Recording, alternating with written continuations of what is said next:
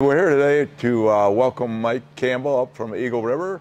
Mike Campbell was our race driver and for many, many years or so, and uh, he redid uh, one of his Formula 3 sleds here, and we want to show that off today to you. And I would just like to say that uh, we were able to bring uh, the sled back home. There was only six of these sleds made, and uh, out of the six of the sleds made, this is the last working Formula 3 snowmobile from the 90s. And for those of you that aren't fans, uh, there was Formula 1 and Formula 3. Uh, Formula 1 was IndyCar uh, type units, and Formula 3 was the NASCAR of it. It's a three cylinder, triple pipe, 600cc motor, and uh, they were a spectacle to watch. So um, the sled had to be completely restored, and Mike worked his butt off to do it to put it back up on its feet and running again, and we're really proud of that. Yeah, and another uh, sidebar to that is is that uh, Champ 440 was in there. Uh, Champ 440 was driven by Mike Campbell and also Formula 3, and we had several other drivers that drove Formula 1 for us. Uh, those are all premier days of the snowmobile racing, and Eagle River was quite a spectacle at its time. Uh, welcome to Nielsen Enterprises uh, new snowmobile museum that we're building here, and uh, we are trying to collect some of our older sleds that we have ridden before or have uh, raced before. And uh, we got Michael Campbell here today, and I have my son Jeff Nielsen here today. We're, we're, uh, we're, we're trying to bring him home. You know, we want him to come home. Um, you know, uh, and we have a lot of uh, rich heritage, not just in snowmobile racing and olive racing. So this is probably one of our proudest reacquisitions, uh, and just uh, we're just really proud to have it back. It was a long journey to try to find the unit. Uh, being the last surviving member of the factory Arctic Cat built TNS chassis units, one of six from 1995. Um, Arctic Cat had contacted Ted to see if they would like to add it to the program with Team Valvoline. Um, after we were done racing, it, it went through some shows and then disappeared for a bit.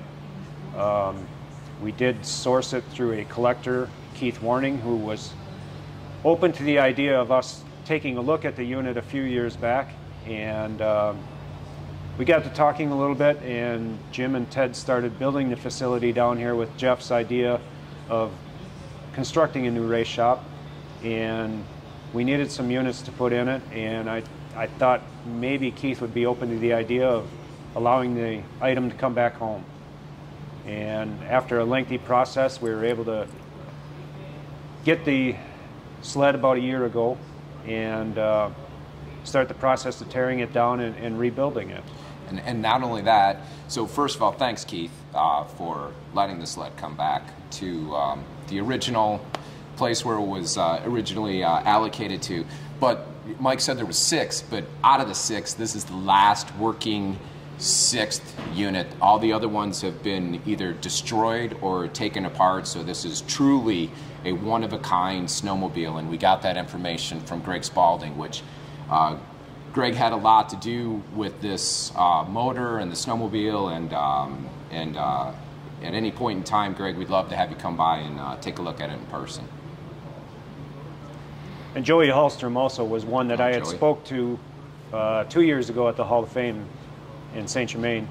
Uh, he had mentioned that this would be the last chassis that is complete.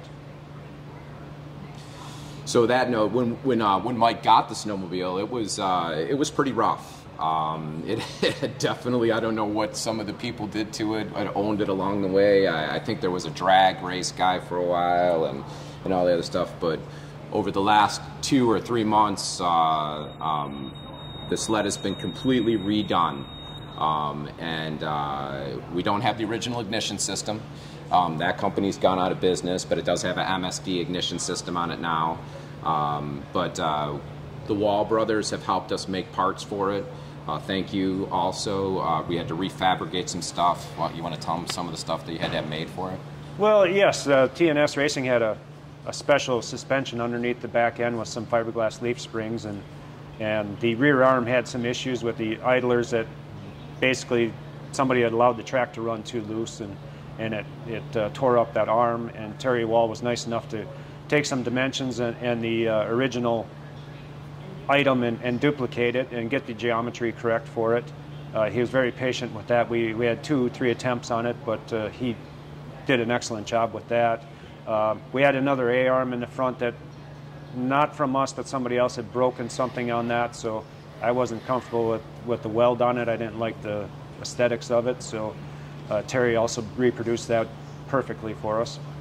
Um, Kurt Crum did a great job at Goodwin Performance with uh, rebuilding the shocks. Yeah, thanks, Kurt. Which is a, a, different, a unique item that Jeff always gave me a hard time about with, with the uh, the front arm adjuster on there. Here it um, is right here. Yeah, I, I, had to mount my gloves on there to make sure we maintain that heritage of constantly turning the knob when I'm driving, which drove Jeff crazy, but uh, I, I thought it made me handle better at times. So the concept behind the knob was is as you turn the knob in, it would take and lift up the front of the rail to give you more ski pressure, and as you turn the knob out, um, it would lower the rail back down again to give you more track on the ground. So the, dri- the driver could actually adjust the sled as he's driving it on the track was one of the main features of it. One or two turns on that definitely changes the whole handling characteristic of the sled.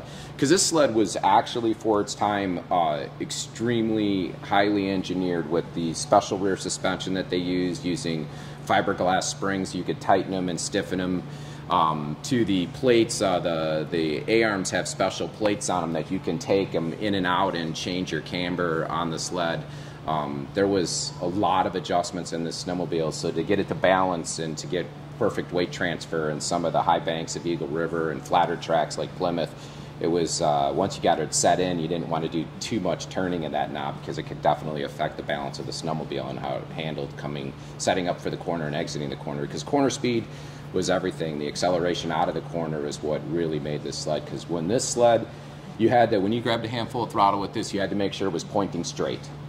It was a lot. It would it would take a lot out of a driver to do uh, get 15 laps on one of these was a workout for sure. A lot of the power to weight ratio was amazing. What is the horsepower, Mike, of this sled? Well, I have the dyno sheet that I brought down, Ted, and uh, I believe that was the dyno run that Greg had done prior to Eagle River. Uh, so, if I remember correctly, that, that reading would have been in the 165 to 168 range. And that for that time of day and that time of racing, that was a handful. Yes. When you rode this. Yes. Well, the other thing that this sled loved to do too is it loved to eat belts. Uh, there was so much power in that motor, and what it did, uh, we, we might have blown a few belts here and there. Uh, quite a few, because the foothold is still quite bent up, and I didn't want to take that patina away because that was just part of the program. Uh, that was definitely character when yes. it comes to that. For sure. Well, hey, Mike, thanks for bringing it down. You did a great job on it. Looks like uh, we're going to have a great collection here with all the rest of the sleds we got in our garage right here uh, with the race museum that we're uh, creating, and uh, we look to bring other sleds and other things back out to you as the viewers, and you can take a look at some of the Formula One stuff that we've done in the past also. Thanks, Ted. Yeah, thank it's, you. It's been an honor to uh, be involved in this and have have this sled actually back home. And the only other thing I'd like to add to it, I think I'd like to thank all the sponsors that helped make this possible uh, with uh, joining forces with us. Uh, we were a privateer team that teamed up and went against the manufacturers and were able to bring some trophies home and make our mark in racing uh, at Eagle River and all the other tracks uh, that we raced at, uh, part of our settings that we could come home with a winning trophy.